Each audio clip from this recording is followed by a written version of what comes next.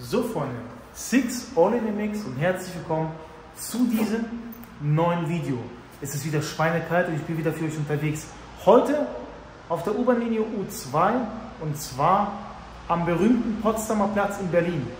Bevor das Video beginnt, ihr kennt das Spiel.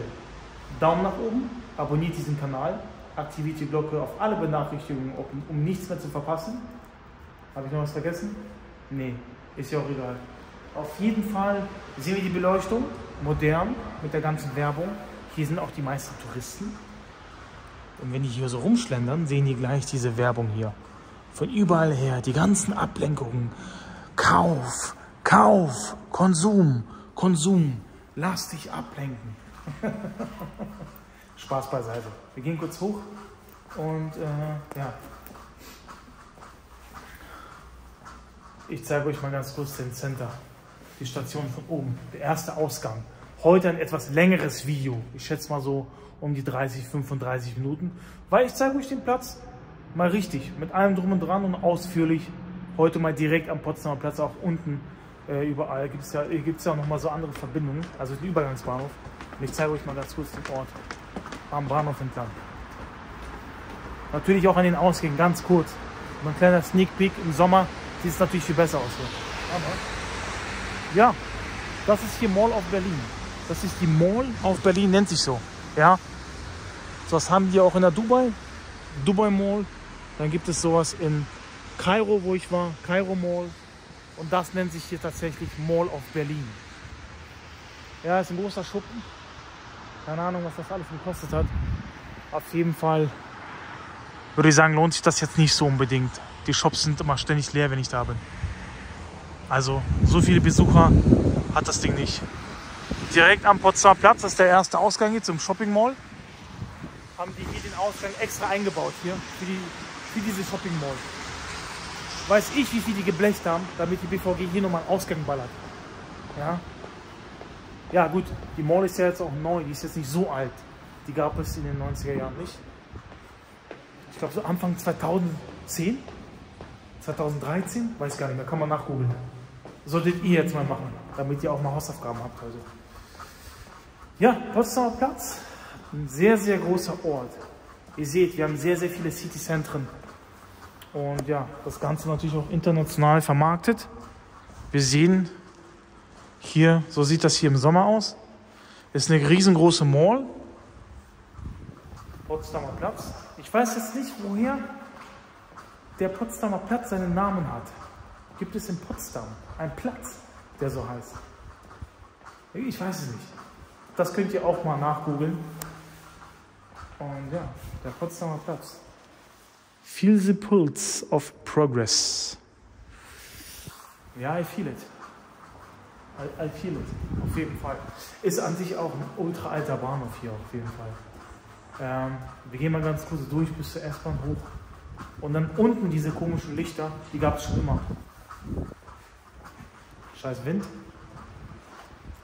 Schaut mal, wie es früher aussah. Ja. Hier nochmal ein zweiter Ausgang.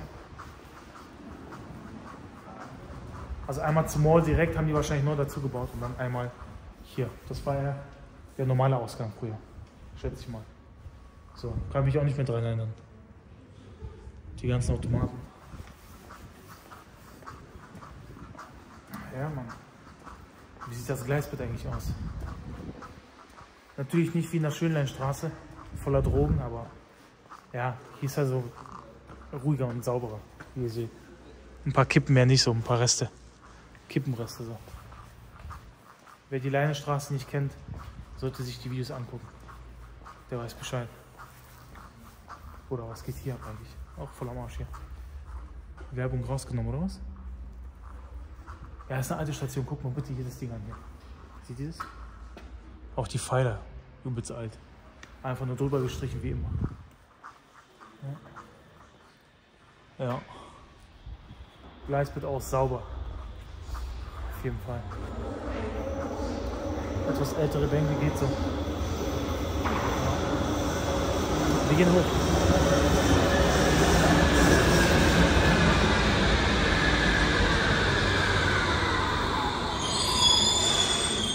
Nagelneue U-Bahn.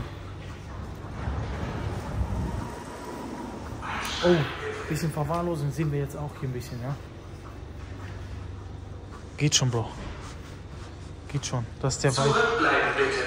Das, das ist der Potsdamer Platz-Vibe. Geht schon. Geht schon. Fahrstühle durchsichtig. das ist der Vibe, Freunde.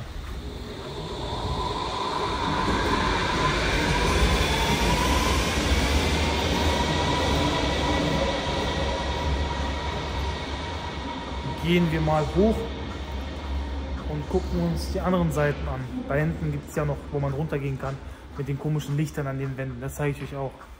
Potsdamer Platz ist sehr vielseitig. Zeige ich euch kurz. Was sagt das Gleisbett hier in den Ecken? Gar nichts.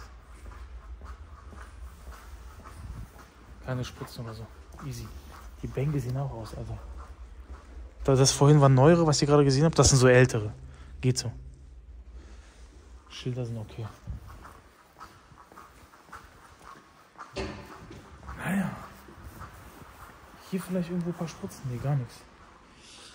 Absolut clean hier so. Auch keine Kügelchen so. In grün oder blau oder sonst wie. Obdachlosigkeit natürlich sehr hoch. Gehen wir gleich an einen vorbei. Windig. Boah, das ist so kalt. Und dann der Typ. Muss richtig Eier haben, die dafür so. Er hat keine Wahl, aber das ist schon. Fuck, Bro. Heftig, Bruder. Nicht normal, wie die Leute das durchziehen, Alter. Er hat ja nirgends mal was, wo er hingehen kann. Doch, wir haben hier Unterkünfte, aber die wollen nicht. Die wollen nicht. Das ist wahrscheinlich zu laut oder da sind viele mehr andere Leute drin. Viele andere mit drin sind. Aber ich wäre wenigstens zur Unterkunft gegangen, auf jeden Fall. Hier im Sommer übernachten auch sehr viele Obdachlose. Ja, das ist der Potsdamer Platz auf der anderen Seite. Hier direkt mit Ritz-Carlton. Vorne einer der teuersten Hotels äh, in Berlin und dann äh, diese S-Bahn-Station unten auch zeige ich euch. Ja, heftig. Heftiger Ort nicht. Der Potsdamer Platz, der berühmte. So sieht das hier aus.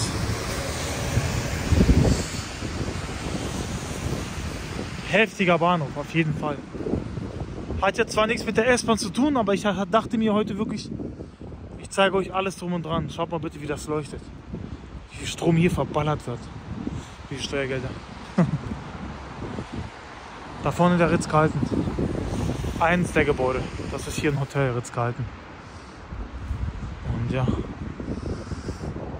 Ganz groß Potsdamer Platz. Hier kannst du Musikvideos drehen, Alter.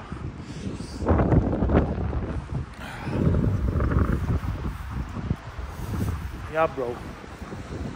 Das ist der Shit. Auch hier ziemlich modern und lass uns mal kurz runter, weil es nicht so windig ist. Ah, bitch. Shit is crazy. Ah, dann gehen wir hinten nochmal raus. Beim Ritz-Carlton, wenn wir schon hier sind. Schöne Rolltreppen mit Lichtern drum und dran. Wie beim Bundestag zum Beispiel, wo es sehr teuer ist. Und schaut euch mal bitte diesen Anblick an. Potsdamer Platz immer schon so gewesen. Schaut mal, wie, wie viele Lichter. Zum Teil wie modern das Ganze aussieht. Ich habe damals auch schon immer gedacht, wenn ich hierher kam, boah, ist das geil hier. Wunderschön. Ein super glatter Boden. Damals waren hier sehr viele Breaktänzer. Hier habe ich auch mit trainiert. Mann, der Wind. Moment.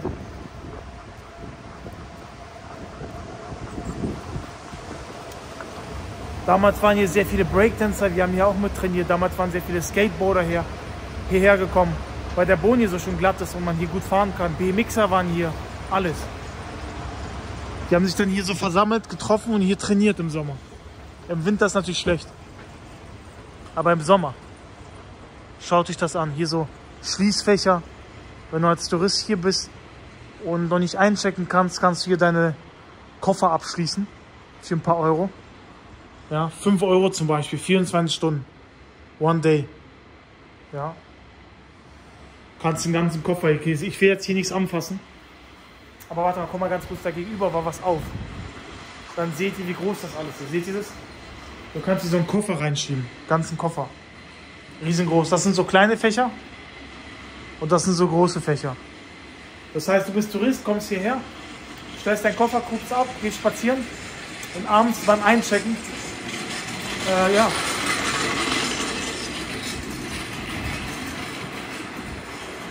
Der Typ muss erstmal sauber machen. Aber schaut mal hier, die Lichter, heftig, wie so ein Musikvideo.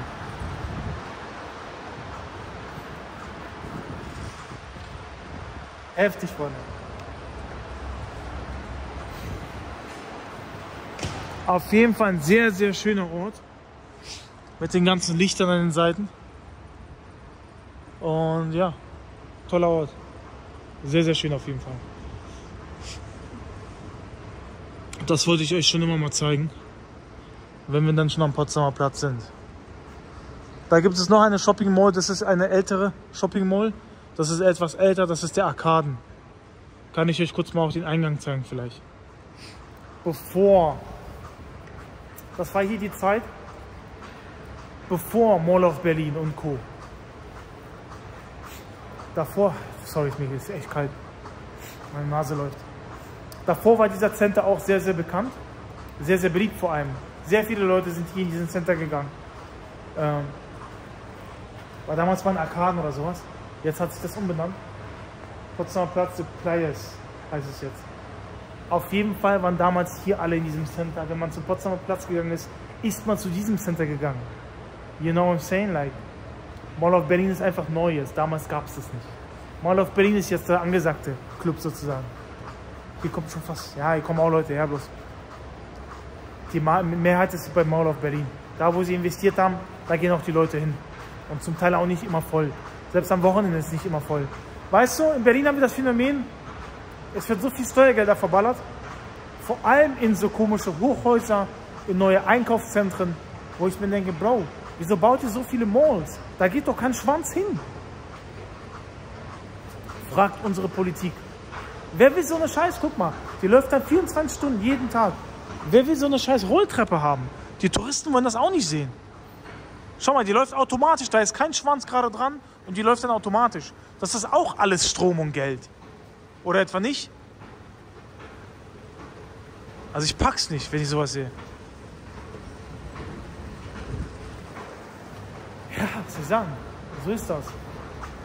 Ich bin, ich bin eben ein Eilmann, ich bin Deutscher, der sich aufregt, der hier aufgewachsen ist. Weil ich finde das schon Verschwendung. Das ist eine pure Verschwendung. Schau mal, und das läuft und läuft und läuft. Das ist doch Strom, Diggi. Und dann erzählen die uns, dass es keinen Strom gibt bald. Dann macht das mal die ganze Leiter aus hier. Ich meine, so was ich meine, macht doch die ganzen scheiß elektronischen Sachen hier aus. Wenigstens Nacht über, wenn der Scheiß hier nicht funktioniert. Äh, wenn hier kein Schwanz da ist. Guck mal, ganz großer Bahnhof, hier ist kein Schwanz einfach da. Einfach keiner. Huh. Weil Berlin einfach zu viel hat. Berlin hat viel zu viel. Ja, viel zu viele Bahnhöfe, viel zu viele Malls, viel zu viele äh, leere Hallen. Sehr, sehr viele leere Hallen. Das ist zu viel. Hier, die Lichter. Will ich jetzt auch nicht anfassen, aber so, guck mal. Das leuchtet dann auch irgendwo im Hintergrund. Was soll das denn so? Wer, wer braucht das denn so? Da eine Rolltreppe automatisch am Fahren, da eine Rolltreppe automatisch am Fahren, obwohl kein Schwanz damit rumfährt. Ah, hier wird nochmal vermerkt. Seht ihr das? Damals war das nicht so. Heute wurde das vermerkt. Keine Inline-Skates, kein Skateboard, kein Fahrrad. Also hier darfst du dann nicht rumlungern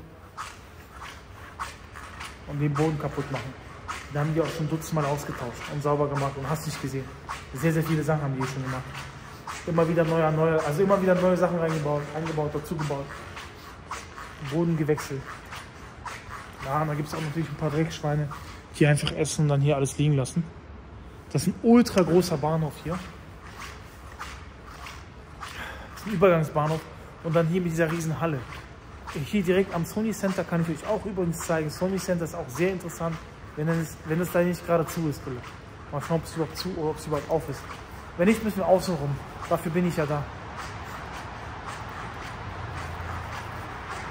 Dann habt ihr nicht nur den Bahnhof, sondern auch das ganze, die ganze Umgebung dazu. Hier ist der berühmte Sony Center, worüber keiner mehr spricht. Ich glaube, der ist sogar auch zu, keine Ahnung. Da ist schon lange nichts mehr. Sony Center Potsdamer Platz. Ja, war ich schon Jahre nicht mehr hier. Jahre nicht mehr, schon ist zu. Kommst nicht rein. Da eine Umleitung zum U-Bahnhof. Und unsere komischen Skulpturen hier, die keinen Schwanz braucht. Schon wieder automatische Rolltreppen, elektronische Rolltreppen, die jeden Tag laufen, ohne Sinn. Die Skulptur da hinten auch ohne Sinn. Was die überhaupt ergeben soll, weiß ich nicht. Irgendwelche Hühnerbeine. Ich fasse es nicht. Gehen wir mal ganz kurz zum Bahnhof, zum S-Bahnhof und dann gehen wir kurz raus am Ritz-Carlton, dem teuersten Hotel. Einer der teuersten und nobelsten Hotels in Berlin. Wo eine Nacht 1000 Euro kostet. So, Rolltreppe. Überall Lichter. Hightech-Sachen, Hightech-Lichter mit eingebaut. Komisch. Hier ist der Bahnhof, hier ist der S-Bahnhof. Auch wieder Bauarbeiten und Umleitung, wie ihr seht. Überall ist immer irgendwas. Zum Kotzen diese Umleitung, Alter. Jedes Mal ist immer irgendwas. Stromkabel zu sehen, einfach irgendwo rumhängend, wie in der dritten Welt. Das ist Berlin heute, Freunde. Was soll ich dazu sagen? Ich bin eh ein Berliner.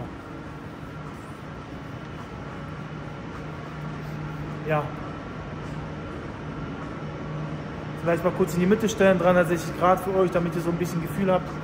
Wenn ihr mal herkommt, dann könnt ihr euch hier das alles auch anschauen und euch an meine Videos erinnern. Und euch dann, euch dann sagen, ey, die waren schon virtuell hier. Der Herr Six hat uns das schon gezeigt. So einmal 360 Grad für euch. Ein sauberühmter Bahnhof. Ultra bekannt. Jeder kennt das hier. Jedes Schwein. Auch wiederum sehr nobel hier mit den komischen gelben, orangen Lichtern und dann mit den ganzen Glasummantelungen von, von den Pfeilern. Die wollte ich wissen, wie die Pfeiler vorher ausgesehen haben. Daher machen die so, kaschieren die alles. Ja gut, was sollen die auch machen? Ist auch ein alter Bahnhof an sich. Potsdamer Platz. Ist auch egal. Guckt euch an, wann dieser Mist hier gebaut worden ist. Seitdem verschluckt er die ganzen Steuergelder. Ja, ich finde das einfach nur, wie soll ich sagen, ist ja nicht böse gemeint, ich bin auch nicht negativ drauf heute oder so, oder hatte auch keinen schlechten Tag, aber das verschlingt sehr, sehr viel Geld. Schaut euch mal bitte um. Guckt mal, wie viele Lichter brennen. Was fällt euch auf?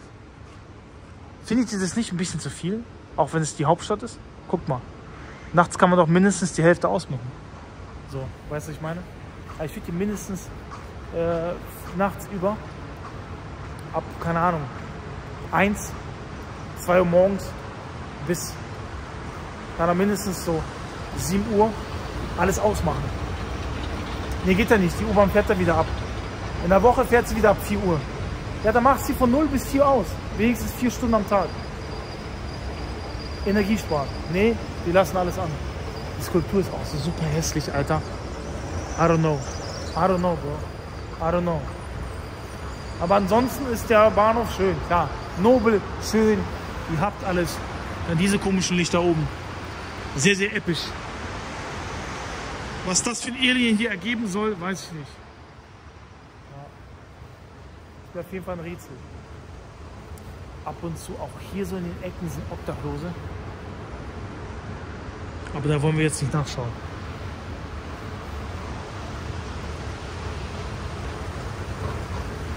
Ja. Der Potsdamer Platz, Freunde. Ein Riesenbahnhof. Wofür? Bleibt mir ein Rätsel. Es hat ein Business District, ne? Wohnungen hier sind unbezahlbar. Wir gehen mal ganz kurz dahinter. Zum Hotel. Hier steht noch ein Stück Berliner Mauer. Ein Stück Geschichte steht hier noch.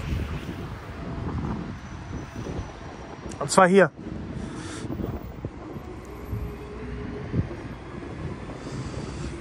Das ist hier ein Stück Geschichte, Freunde. Ein Stück der Berliner Mauer hier.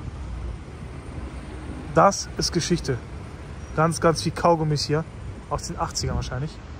Boah, da kleben noch richtig eklige Kaugummis. Dutzend Kaugummis. Überleg dich mal bitte, wie alt die Dinger sind schon. Ja, also sind auch schon Stein, zu Stein geworden. Ein Stück Geschichte hinter mir. 1989, Berliner Mauer gefallen.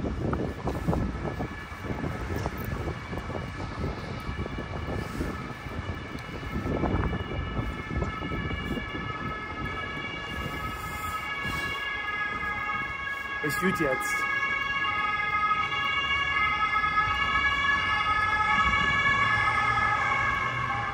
Richtung Schöneberg fahren die. Die Polizei. Schöneberg geht immer ab.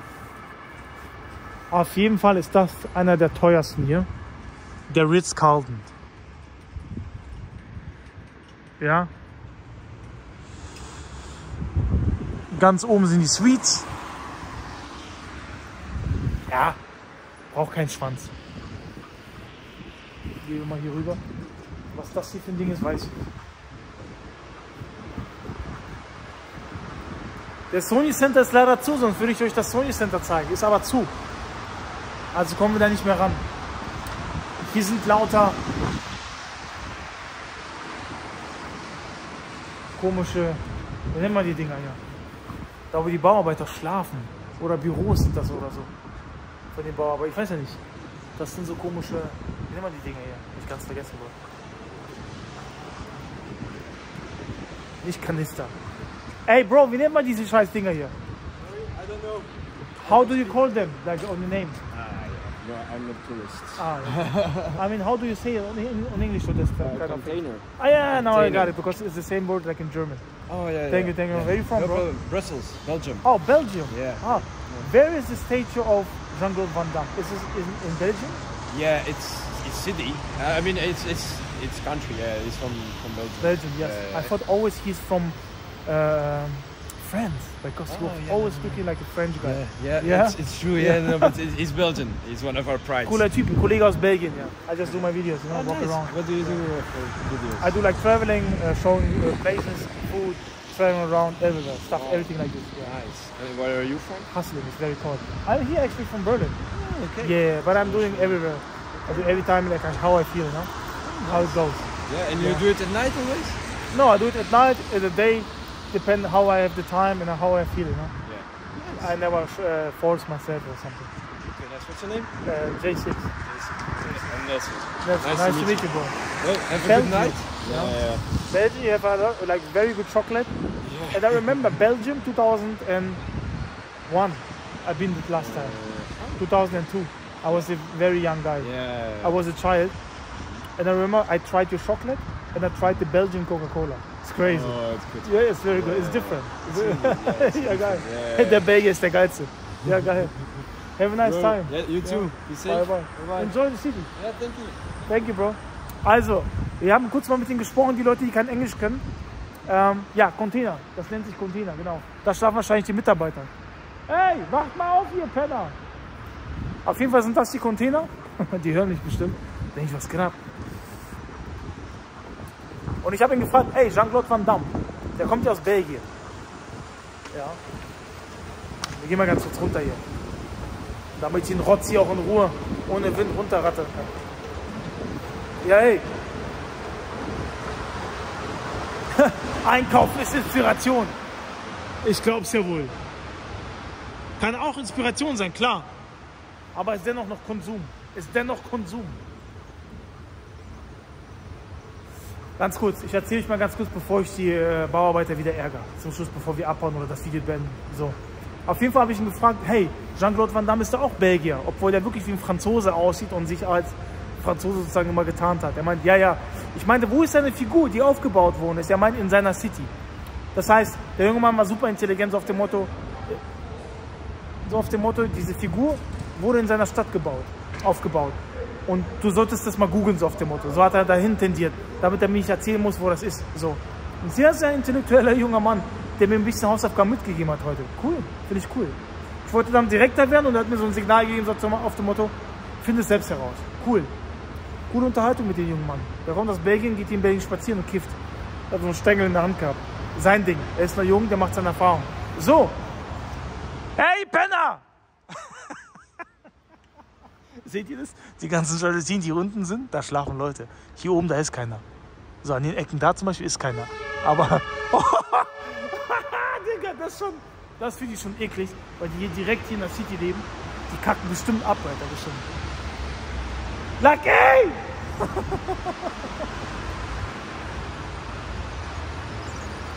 Spaß beiseite. Freunde, das ist der Potsdamer Platz. Das war der Potsdamer Platz. Was auch paradox ist, diese Tafeln haben die tagsüber an und jetzt haben sie sie aus. Aber alles weitere läuft. Guck mal, die Tafeln sind aus von Ströer. Ja, dann macht doch alles am besten an. Wenn alles an ist, dann kann auch alles andere auch an sein. Dann spart doch nicht. Wenn mich jetzt jemand sieht, denkt, ey, was ist das für ein Verrückter, der mir sich selbst quatscht. So bin ich. Wisst ihr, ich fühle mich gar nicht so alleine, wenn ich meine Kamera anhabe oder so mit meinem Handy rumlaufe mit dem Stick und das hier für euch filme, habe ich immer im Hintergedanken, dass ihr das auch zuseht, gerade in dem Moment. Und dann fühle ich mich nicht so alleine. Ich, ich gucke dann so in die Länder und sehe, ey, hunderte von Menschen gucken mir zu. Ja? Noch bin ich nicht so weit, wo ich sagen kann, tausende von Menschen oder Millionen von Menschen. Aber hunderte von Menschen, einige hunderte Menschen gucken mir zu. Und das täglich. Und das ist schon krass. Ja? Gehen wir mal ganz kurz auf diese Seite hoch. Auf der anderen Seite sind wir gekommen. Hier, was mich richtig ankotzt in Berlin, Bau, Baustellen überall. Umleitungen, Baustellen. Wieder hier bis zum 27.01. schon längst vorbei. Trotzdem hier noch stehend. Verstehe ich nicht. Da mach du die scheiß Pisstafel weg. Ja, Bruder. Mall of Berlin Werbung nochmal hier, dass du so entlang gehen kannst. An den Treppen auch sehr gut platziert. Alles schön für den Konsum, klar. Und wir gehen jetzt einfach hier entlang. Warum auch nicht hier am Bahnhof? Komm, gehen wir mal kurz runter. Hier direkt Fernbahnhof. Das ist der Fernbahnhof. Hier könnt ihr deutschlandweit auch sozusagen unterwegs sein. Hier steigst du ein mit Flixtrain oder mit dem ICE zum Beispiel. Wir haben schon übrigens 2.32 Uhr. Ich bin sehr, sehr lange für euch unterwegs, wie ihr seht. Ja, sonst kriege ich nicht alles unterm Hut. Der junge Mann hat ja auch gerade gefragt, bist du nur nachts unterwegs oder auch am Tag? Ich meine, ich bin immer am Tag, nachts, wie auch immer. Je nachdem, wie ich die Zeit finde und nicht auf Druck. Ja. Hier sehen wir natürlich super modern. Die Haltestelle hier. Nach Nauen, Berlin Hauptbahnhof Tief, Jungfernheide, Spandau, über See, Seegefeld, Falkensee, Finkenkrug, Brieselang. Alter, was ist der Name? Schwettodder, Nauen wieder. Ja, sind halt so Zwischenstopps hier. Der Hauptbahnhof ist eigentlich der eigentliche Bahnhof. Bloß hier ist auch wie so eine Art Hauptbahnhof. Wenn die Touristen keinen Bock haben, da umzusteigen oder schnell dahin zu kommen, dann fahren sie einfach hier mit. So, die Züge halten hier meistens auch an der Station. Je nachdem, wie ihr gebucht habt. Und dann kommt ihr auch schneller ans Ziel, schneller nach Hause. Dann müsst ihr nicht erst zum Hauptbahnhof fahren, sondern könnt hier auch einsteigen. Und darum, das ist hier die Idee. Ihr könnt hier einkaufen, konsumieren, euren Konsum betreiben. Dafür ist das hier auch gedacht hier. Und dann kommt ihr hier runter, falls ihr keine Zeit mehr habt, weil Berlin hat wirklich sehr viele Ablenkungen. Berlin ist schlimmer als New York, wirklich. Im Sommer, boah, alle Leute, die nach Berlin kommen im Sommer, die wollen hier gar nicht weg. Die sagen, ey Bro, ich lieber verlängert. Ich sage, Bro, ist dein Problem. Ich habe dir gesagt, bleib etwas länger. Buch dir mal gleich für 10 Tage oder 14 Tage. Also wenn du nach Berlin kommst, solltest du mindestens zwei Wochen kommen. Wirklich, Minimum. Minimum zwei Wochen. Weil eine Woche ist, ist Blödsinn. Du spürst nichts. Hier gibt es so viel zu sehen. Schaffst du nicht. Schaffst du nicht. In einer Woche schaffst du nicht. Ja. Heftig. Und so sah Berlin früher aus.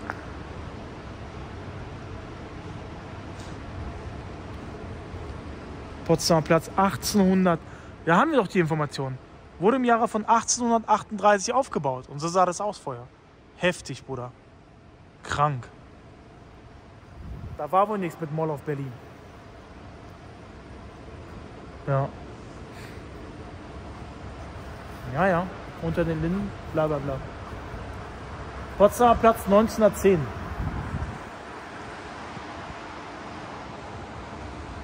Super interessant. 1910er Jahre, 20er Jahre, 10 Jahre. Das ist schon krass, wenn du so hörst, 10er. 1910er, das ist schmal. Boah, es ist kalt, Digga, bitterkalt. Ich hänge morgens um halb drei herum.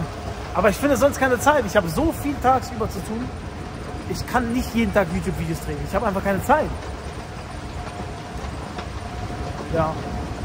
Dann komme ich her, wann ich kann und drehe die Videos für euch.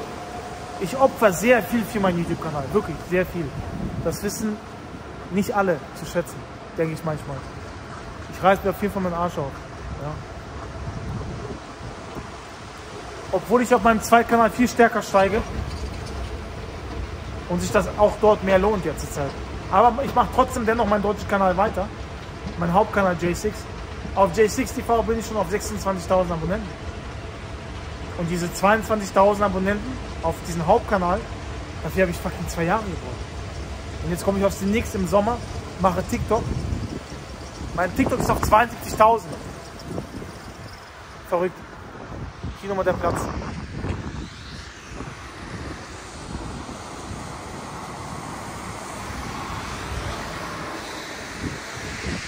Mein TikTok ist auf 72.000. Mein Zweitkanal, was ich ein halben Jahr aufgebaut habe, nicht mal, drei Monate, ein ganzer Sommer, letztes Jahr, 22, ist auf 26.000 und mein Hauptkanal gerade mal auf 22.000 sind. Das ist schon irgendwo unfair. Klar, umso mehr du das machst, umso mehr Erfahrung nimmst du mit. Und machst den Zweitkanal auf und weißt genau, wie was funktioniert. Ist alles richtig. Ich will ja nicht rumheulen. Aber es ist irgendwo traurig, ne, dass dann irgendwie die neuen Kanäle besser laufen als der alte so. Oder ich mit dem alten langsam vorangehe. Ich komme zwar voran, aber ich komme nur langsam voran. Fuck it. Es geht weiter, Bro. I got it anyways. Insgesamt mit meinen ganzen Social Media Kanälen habe ich über 100.000 Abonnenten. Ja. So, wir gehen jetzt den Weg zurück und dann beende ich auch das Video.